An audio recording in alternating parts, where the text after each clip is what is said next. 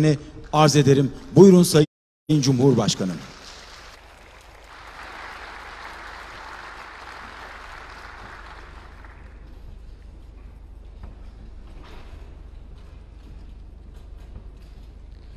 Sevgili Sakaryalılar, savunma sektörümüzün değerli temsilcileri, Asfat ile BMC şirketimizin kıymetli çalışanları, saygıdeğer misafirler, sizlere en kalbi duygularımla, hürmetle, muhabbetle selamlıyorum. Yeni nesil fırtına obüsleri teslimat töreni münasebetiyle sizlerle beraber olmaktan büyük bir memnuniyet duyuyorum. Şehitlerimiz ile Gazi Mustafa Kemal başta olmak üzere ahirete irtihal etmiş tüm gazilerimizi rahmetle yad ediyorum. Bizlere bu büyük gururu yaşatan herkese, tüm kurumlarımıza, şahsım, ülkem ve milletim adına şükranlarımı sunuyorum. BMC Power tarafından bugün teslim edilecek 6 adet yeni nesil fırtına obüsünün ülkemize, milletimize ve ordumuza hayırlı olmasını diliyorum. İnşallah bu sayıyı önümüzdeki dönemde yeni teslimatlarla toplamda 140'a kadar çıkaracağız. Yeni nesil fırtına obüsleri şu an envanterde olan modellere kıyasla pek çok avantaja sahip. Yürütülen çalışmalar neticesinde obüslerimizin hem beka kabiliyeti hem de ateş gücü artırılmıştır. Kazandırılan ilave yetenekler arasında yeni nesil atış kontrol, otomatik mühimmat yükleme, sürücü görüş, otomatik yangın söndürme, iklimlendirme, uzaktan kumandalı silah, yenileştirilmiş palet askı donanımı, yeni nesil yardımcı güç grubu gibi pek çok kritik unsur bulunuyor. Fırtına obüslerimizin gücüne güç katan tüm bu sistemlerle aynı zamanda dışa bağımlılığımızı da azaltmış oluyoruz. Motor ve transmisyon konusunda bir süredir yürüttüğümüz yerlileştirme faaliyetlerini inşallah iki sene içerisinde tamamlayacağız. Fırtına obüslerimizde 2025 yılından itibaren BMC Power tarafından geliştirilen motor, motor ve transmisyonu kullanacağız. Böylece savunma ürünleri ihracatımızda zaman zaman karşımıza çıkan lisans meselesini de kökten çözüme kavuşturacağız. Türk Silahlı Kuvvetleri'nin caydırıcılığını ve harekat kabiliyetlerini çoktan ileri taşıyan bu projenin icrasında görev alan herkese teşekkür ediyorum. Obüslerin imalatını yapan mühendislerimizi, teknisyenlerimizi ve işçilerimizi tebrik ediyor. Başarılarından dolayı kendilerini kutluyorum. Burada yakaladığımız ivmeyi Altay tankı başta olmak üzere fabrikamızda yürütülen diğer stratejik projelere de teşmil ederek çalışmalarımızı sürdürüyoruz. Mayıs ayında iki adet yeni Altay tankımızı testlerini gerçekleştirmek üzere ordumuza ve güç grubunu yapacak firmaya teslim ediyoruz. Yeni Altayların testlerini tamamladıktan sonra inşallah 2025 yılından itibaren proje ortaklarımızla birlikte seri üretime başlıyoruz. Fırtına obüsleri ve Altay tanklarımıza ilave olarak Arifiye tesisimizde 6 8 çarpı 8 zırhlı personel taşıyıcıların üretimi ve ihracatı Türk Silahlı Kuvvetlerimizin envanterindeki Leopard 2 A 4 tanklarının modernizasyonu 400 beygirden 1500 beygire kadar farklı motor ve transmisyonların proje, araçlara entegre ve üretim çalışmaları da devam ediyor. Ciddi emek, sabır, bilgi birikimi ve irade gerektiren tüm bu projeleri de adım adım hizmete alıyoruz. Görüldüğü gibi birilerinin ona buna satıldı diyerek iftiralarına hedef olan Arifiye Ana Bakım Fabrikası farklı alanlarda ordumuzun ihtiyaçlarını karşılamayı sürdürüyor.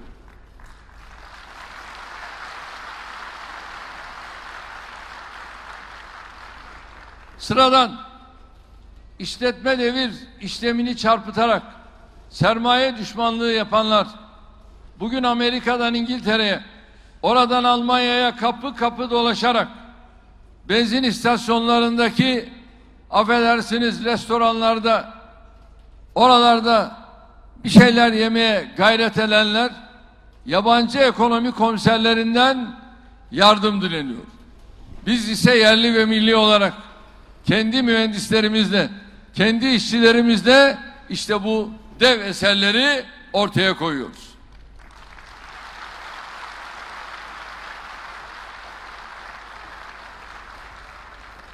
Aynı şekilde işten atılacak diyerek galeyana getirmek istedikleri fabrika personelimizde hiçbir hak kaybına uğramadan tam bir gönül huzuruyla fabrikamızda çalışıyor, üretiyor, ülkemiz ekonomisine katkı sağlıyor.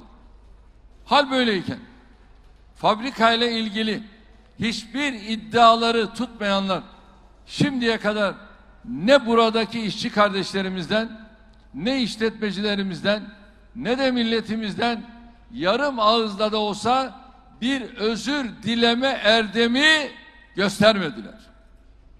Ve işte bu güzel Sakarya'mızı temsil eden bir tane milletvekili var. Ondan da açtığım davadan 50 bin lirayı aldım. Ve onu da inşallah vakıflarımızdan bir tanesine verdik.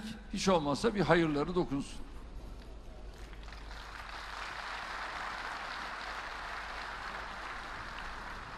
Bu hazin tabloyu da ayrı bir pişkinlik, ayrı bir yüzsüzlük örneği olarak milletimizin takdirine bırakıyoruz. En azından bugünkü teslimat sonrasında işin aslını bildikleri halde ısrarla yalan söyleyenlerin milletimize olan özür borçlarını ifa etmeleri gerektiğine inanıyorum. Ben Sakarya'ya inanıyorum.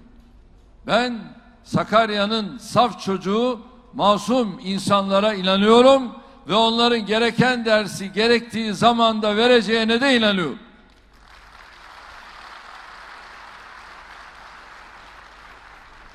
Grup kürsülerini iftira ve çarpıtma kürsülerine çevirenleri buradan bir kez daha özellikle doğrudan ülkemizin çıkarlarını ilgilendiren milli meselelerde yalan siyasetini terk etmeye davet ediyorum. Bunu yaparlarsa ne hala? Şayet yapmazlarsa biz milletimize saygımızın bir gereği olarak onların yalanlarını, iftiralarını, çarpıtmalarını deşifre etmeyi sürdüreceğiz. Türkiye'nin savunma hamlelerinin geçmişte defalarca yaşandığı gibi türlü ayak oyunlarıyla engellenmesine asla müsaade etmeyeceğiz.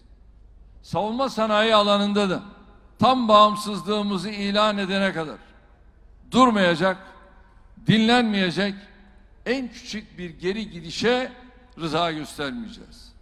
İşte bugün burada olduğu gibi kamu ve özel sektör işbirliğiyle inşallah ülkemizi başarıdan başarıya koşturacağız. Değerli arkadaşlar, Türkiye'nin zincirlerini kırdığı alanların başında savunma sanayi geliyor. Unutmayın, göreve geldiğimizde yüzde yirmisi milliydi. Ama şimdi yüzde sekseni milli olan bir savunma sanayine sahibiz. Nereden? Nereye? Ana yüklenicileri, kobileri, araştırma kuruluşları, teknoloji merkezleriyle son 20 yılda bu alanda hayal dahi edilemeyen başarılara imza attık. Savunma sanayinde başarı hikayesi yazmakla kalmadık. Aynı zamanda büyük bir zihniyet devrimi de gerçekleştirdik. Daha önce başlattığı stratejik projeler emekleme aşamasındayken akim bırakılan ülkemiz bizimle birlikte ilk defa projelerinin neticelendiği, uygulamaya geçtiği, başarısını ispatladığı günleri gördü.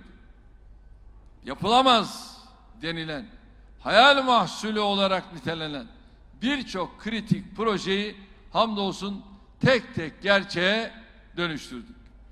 Elbette bu seviyeye öyle bir anda gelmedik.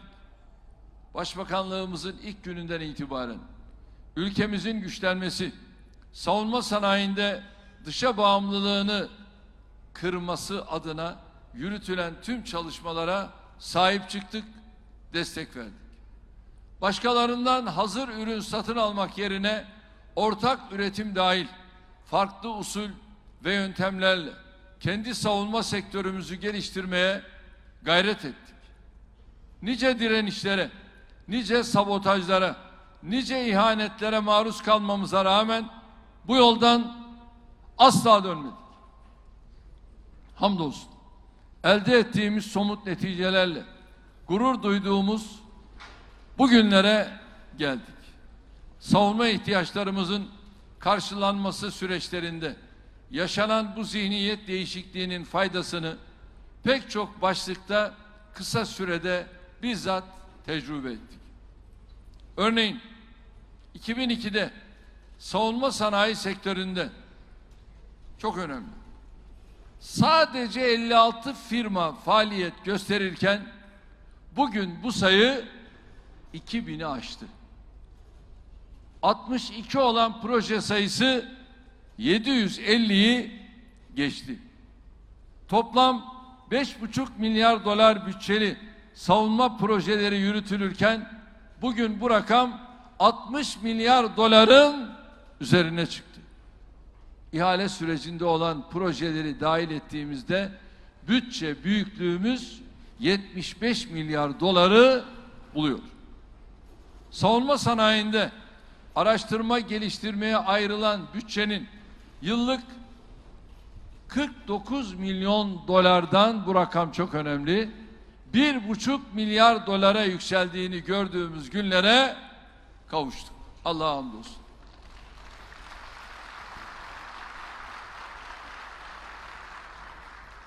Özellikle ihracat alanında gerçekten gurur verici bir tabloya şahit oluyoruz. Bundan 20 yıl önce sadece 248 milyon dolar olan savunma ihracatımız geçen sene ne oldu biliyor musunuz? 4 milyar 400 milyon dolarlar rekor kırdı. Bundan 5-6 yıl öncesine kadar dünyanın ilk 100 savunma şirketi listesinde iki firmamız varken bugün aynı listede 7 tane firma ile temsil ediyoruz.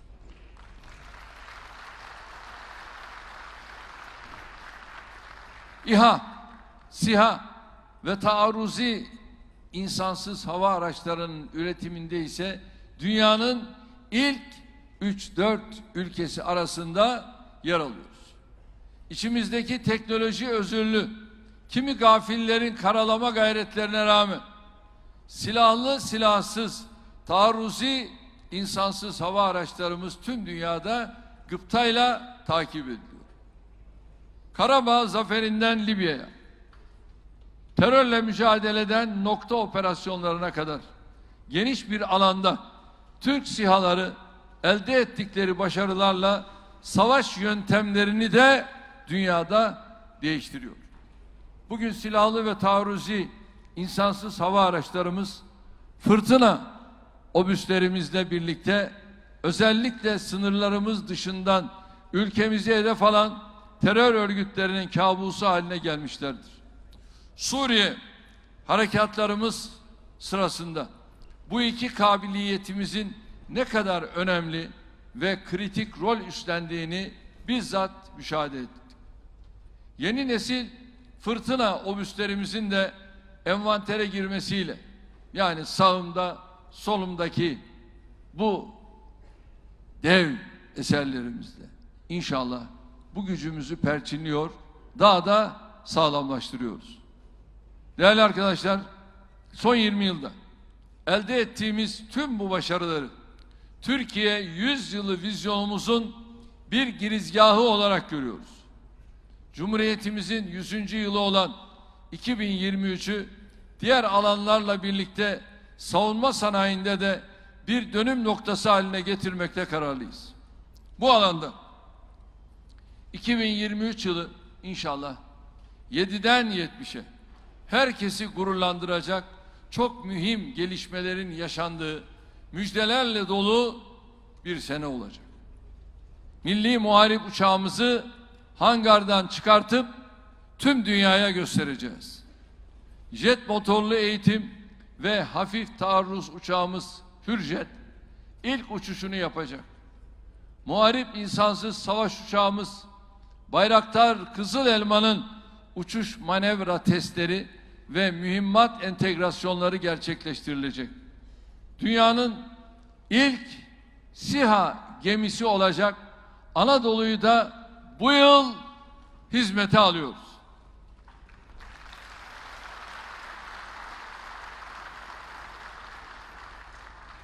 Anadolu gemisine konuşlandıracağımız Bayraktar TB3 SİHA ilk uçuşunu icra edecek.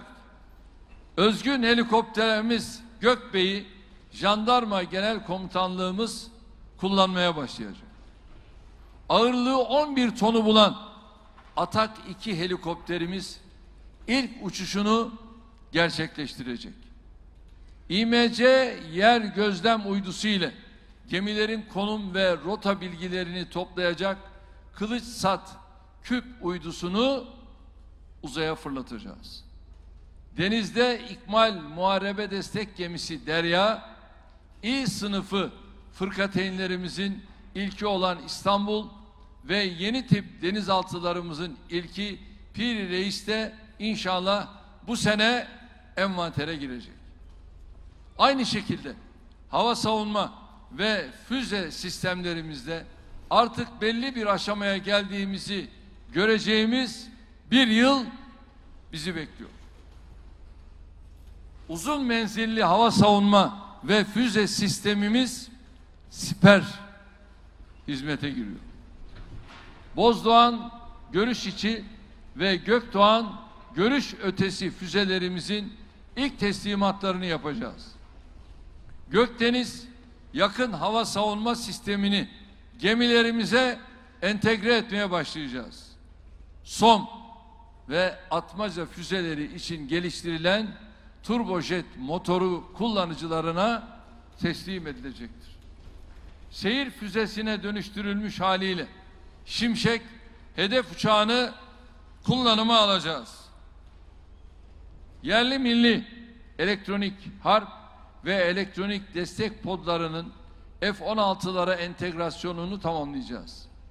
Erken ihbar radar sistemi Eralp'in teslimatını yapacağız. ASEAN burun radarını Akıncı, TİHA ve F-16'lara entegre edeceğiz. Zırhlı amfibi hücum aracı ZAHA ve yerli motorlu vuran zırhlı araçlarının teslimatına başlayacağız. Tüm bunlarla beraber irili ufaklı daha pek çok projemizin başlama, tamamlanma ve teslimat işlemlerini gerçekleştireceğiz. Yeni nesil fırtına obüsü teslimat töreniyle başladığımız 2023 senesini milletimize savunma alanında vereceğimiz yeni müjdelerle sürdüreceğiz. Rabbim yolumuzu, bahtımızı açık etsin diyorum. Ve yeni nesil fırtınalarla inşallah atışlarınız yüzde yüz isabet kaydetsin. Ve düşmanlara korku, dostlara da güven versin diyor.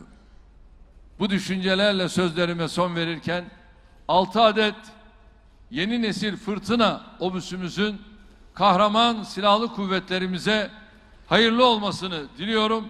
tüm engelleme girişimlerine rağmen aşkla, samimiyetle, azimle çalışarak bu teslimatları gerçekleştiren siz kardeşlerime tekrar şahsım, milletim adına teşekkür ediyorum. Hepinize sevgilerimi, saygılarımı sunuyorum. Kalın sağlıcakla. Sayın Cumhurbaşkanımıza hitaplarından dolayı teşekkür ediyoruz. Zatı devletlerini bir süre daha sahnede misafir edeceğiz. Sayın Cumhurbaşkanım şimdi yeni nesil fırtına obüs teslim törenine geçiyoruz. Arz ederim. Sayın Cumhurbaşkanımıza eşlik etmek üzere de Milli Savunma Bakanımız Sayın Hulusi Akar'ı sahneye davet ediyoruz.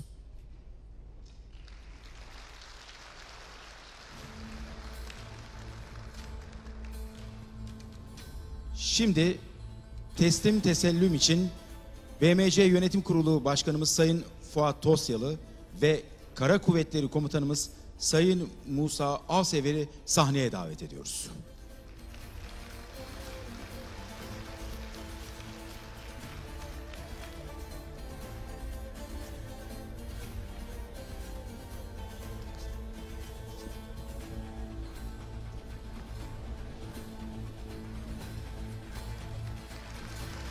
Yeni nesil fırtına obüslerimiz Türk Silahlı Kuvvetlerine hayırlı uğurlu olsun.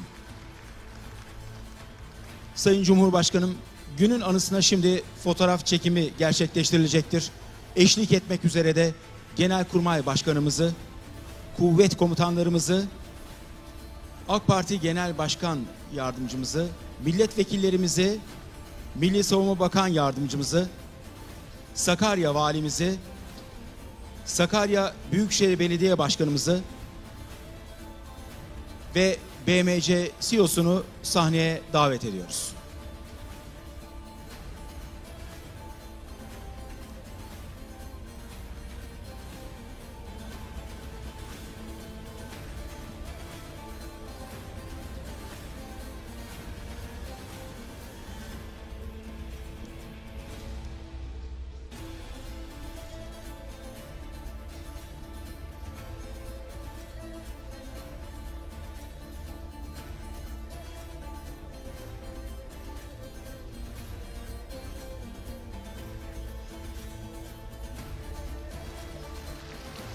Cumhurbaşkanımız Sayın Recep Tayyip Erdoğan'a törenimize katılımlarından dolayı teşekkür ediyoruz. Zatı devletlerini saygılarımızla uğurluyoruz. Siz değerli konuklarımızla lütfen Sayın Cumhurbaşkanımız ayrılırken yerlerinizde kalmayı sürdürünüz efendim. Teşekkür ediyoruz. Değerli katılımımızdan dolayı da siz kıymetli konuklarımıza da teşekkür ediyoruz efendim. Lütfen yerlerinize kalınız. Lütfen.